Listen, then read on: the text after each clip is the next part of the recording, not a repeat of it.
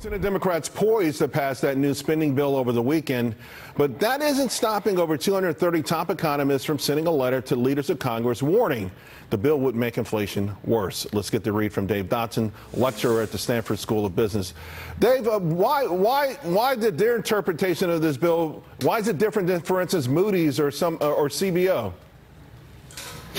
Yeah, I think the whole notion that the bill is going to affect inflation or not is crazy, frankly, because the world doesn't move that fast, and sure as heck, Washington doesn't move that fast.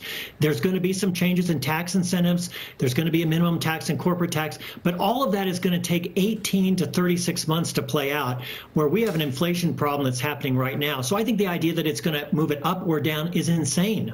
It's not going to have any impact. Right, and to that point, even the CBO says the first four or five years are going to be uh, treacherous, right, on the on the spending side, the the inflationary side. I, I, know everyone's looking at the Fed to sort of reel this in, but it's it's a makes their job a lot more difficult when we keep spending this type of money. Oh, yeah, no, for sure. I mean, there's three things that are driving inflation right now $5 trillion that we threw into people's mailboxes. Then we had a scarcity of goods. So now everybody's got cash, but they can't buy it because of supply chain issues. Of course, that's going to drive prices up. And then the energy shock that happened with Ukraine. Those three things are going to come down. We know that.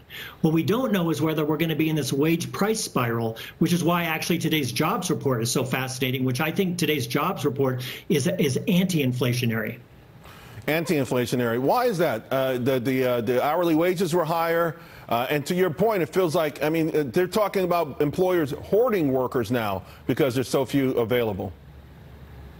Okay, so here's here is the key to the jobs report. It's not about job growth. Normally, the amount of available jobs and job seekers is almost always the same number. But we had this crazy flip-flop during COVID, and we've had this period of time where available jobs greatly exceeded job seekers. We did not create 529,000 jobs. We filled 529,000 jobs, and we filled them because employers have had to use incentives and beg people to come work, and of course, a lot of that is driving wages up.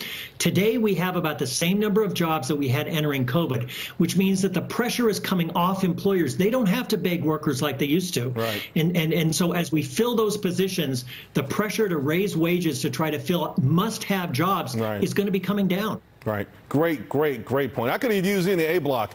Uh, thanks a lot, Dave. Have a great weekend.